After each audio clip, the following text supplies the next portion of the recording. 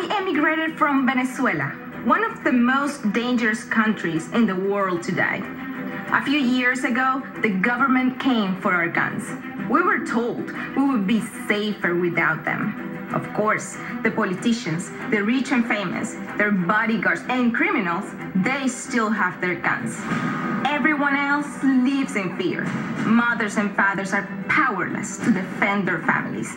But the drug cartels and gangs, the colectivos, still have all the guns they want, and 90% of murders are never solved. The biggest mistake Venezuela's made was believing that this could never happen. Today, they would do anything for the Second Amendment freedom that we enjoy as Americans. Never, ever take it for granted.